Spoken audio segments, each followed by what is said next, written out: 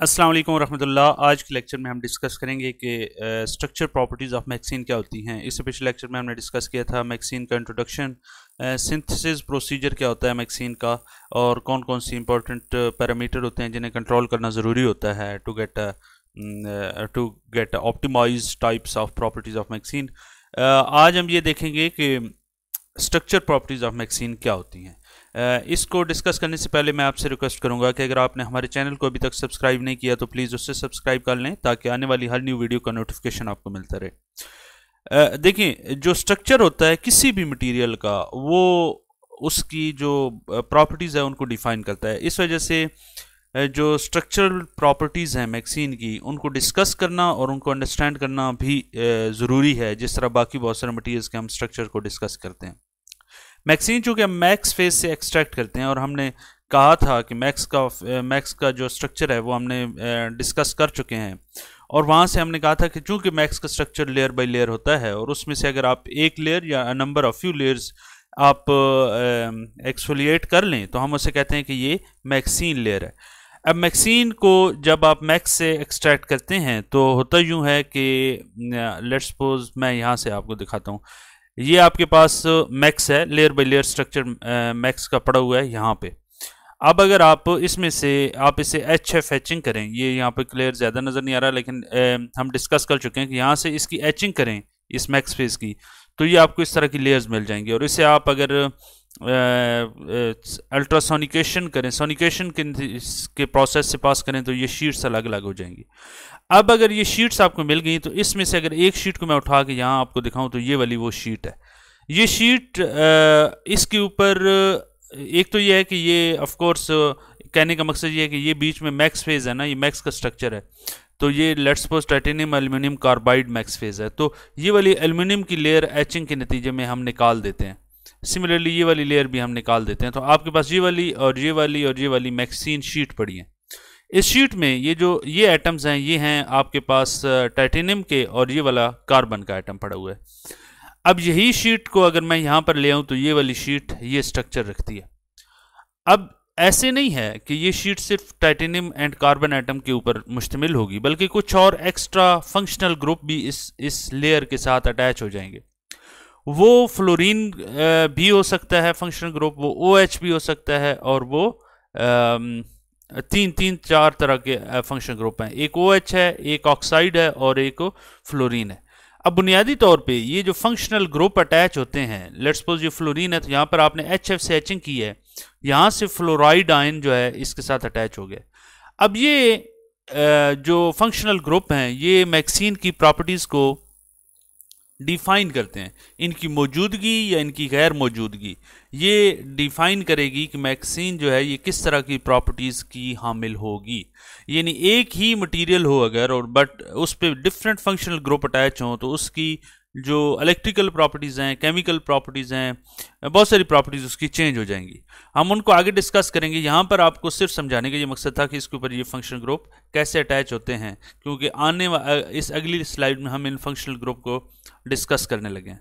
ये functional group attach हो गए इस मैक्सिन शीट के साथ। ये फ्लोराइड आयन जो है, ये तो ऑफकोर्स जो फ्लोरीन का जो फंक्शनल ग्रुप है, ये तो आपके पास एचेंट से आता है। लेकिन बाद अवत इसके साथ ओ OH ग्रुप भी अटैच हो जाता है। ओ OH आप वाटर में अगर वे मैक्सिन को स्टोर करते हैं या वाटर के अंदर रखते हैं तो ओ OH ऑफकोर्स वाटर से आकर इस शीट के साथ यहाँ पर अटैच हो जाता है। रियल सिचुएशन में होता यह है कि ये फ्लोराइड आयन भी हो सकते हैं, ये ओ OH भी हो सकता है और ये ओ ग्रुप भी हो सकता है। ये जो ओ ग्रुप है ओ OH है या फ्लोराइड आयन है फ्लोराइड ग्रुप है, ये सारे के सारे जो है ये मैक्सिन को स्पेशल काइंड ऑफ़ प्रॉपर्टीज़ देते हैं।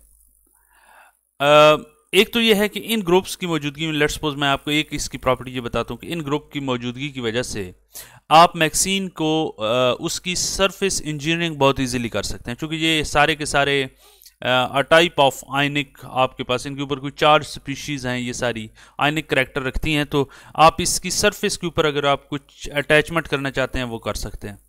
तो वो जिसे कहते हैं ना इलेक्ट्रोकेमिकल या इलेक्ट्रिकल अटैचमेंट अगर आप इसके ऊपर कोई करना चाहते हैं, कोई और लेयर इसके ऊपर डिपॉजिट करना चाहते हैं, कुछ चार्ज नैनो पार्टिकल इसके ऊपर डिपॉजिट करना चाहते हैं तो नैनो स्केल पे आप बेतहाशा टाइप्स की इसके ऊपर सरफेस इंजीनियरिंग कर सकते हैं। दूसरा ये है लेट्स सपोज़ आप अगर इसी मैक्सिन का सोल्यूशन बनाना चाहते हैं और आपको लगता है कि अगर ये ग्रुप फंक्शनल ग्रुप अटैच ना हुए तो ये सारी मैक्सिन दोबारा आपस में अटैच हो जाएँगी एग्लोमरेट हो जाएँगी।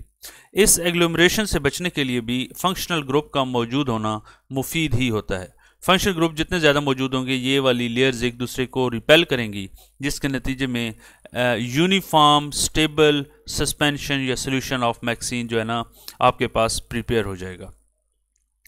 अच्छा ऐसे नहीं है कि ये वाले जो फंक्शनल ग्रुप हैं, इनको आप टोटली रिमूव नहीं कर सकते। अगर आप इनको कुछ मेटल्स के साथ रखें। इस मैक्सिन को आप कैल्शियम मैग्नीशियम एल्यूमिनियम या और कोई और मेटल्स हों, उनके साथ रखें। तो ये वाले जो फंक्शनल ग्रुप हैं they are more attracted toward those metals और जिसके नतीजे में ये मैक्सिन बिल्कुल जो है ना बेयर हो जाएगी। इसके ऊपर कोई फंक्शनल ग्रुप अटैच नहीं होगा। तो देखें ये बड़ी यूनिक प्रॉपर्टी है। मैक्सिन की कि आप इसकी इंजीनियरिंग कर सकते हैं। यानी ये ऐसे नहीं कि फ़ंक्शन ग्रुप इसके साथ अटैच हो गए, आप इन्हें रिमूव नहीं कर सकते। ऐसे नहीं है कि अगर ये लगी हुई हैं तो आप इसके ऊपर कोई और इंजीनियरिंग नहीं कर सकते।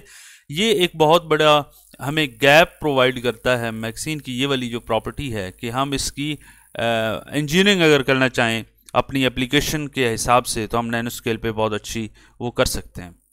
अच्छा इसके अलावा जो कहते हैं कि जो स्ट्रक्चर प्रॉपर्टीज़ हैं, उसमें जो मॉडलिंग है वो बहुत ज़्यादा इंपॉर्टेंट है। मॉडलिंग मीन्स के आपको ये अंदाज़ा हो कि कौन सा ग्रुप किधर अटैच है और क्यों अटैच है। मिसाल के तौर पे हम जो फंक्शनल ग्रुप की बात कर रहे हैं शुरू शुरू में ये समझा जाता था कि ये जो फंक्शनल ग्रुप हैं, ये जो कार्बन एटम्स हैं ना यहाँ पे तीन कार्बन एटम हैं, तीन कार्बन एटम के दरमियान ये वाला जो हॉलो स्पेस है, इसके टॉप पे कहीं पे यहाँ पे अटैच होता है ये फंक्शनल ग्रुप शुरू में ये ख्याल था।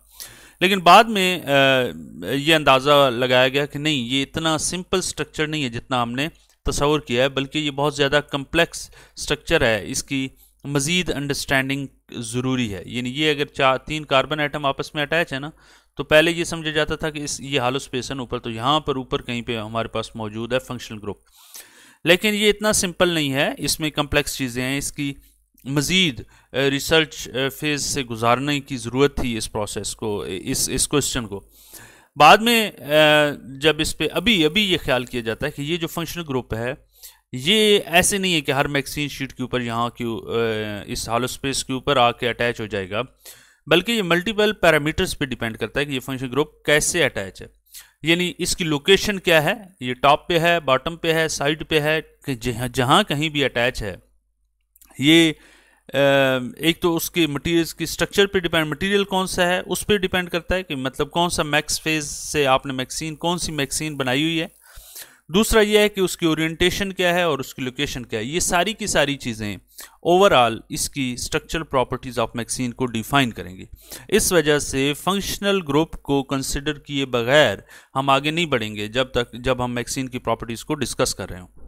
एक और बहुत ही अहम बात जो तस्वर की जाती है बिलमूम, कि आइडियली हम यूँ लेते हैं कि जो मैक्सिन शीट है ना, इसके ऊपर जो फंक्शनल ग्रुप अटैच हैं, वो यूनिफॉर्म है। यानी हर जगह पर एक जैसी, एक जैसे फंक्शनल ग्रुप एक जैसे डिस्टेंस पर, यानी यूनिफॉर्म डिस्ट्रीब्यूशन है।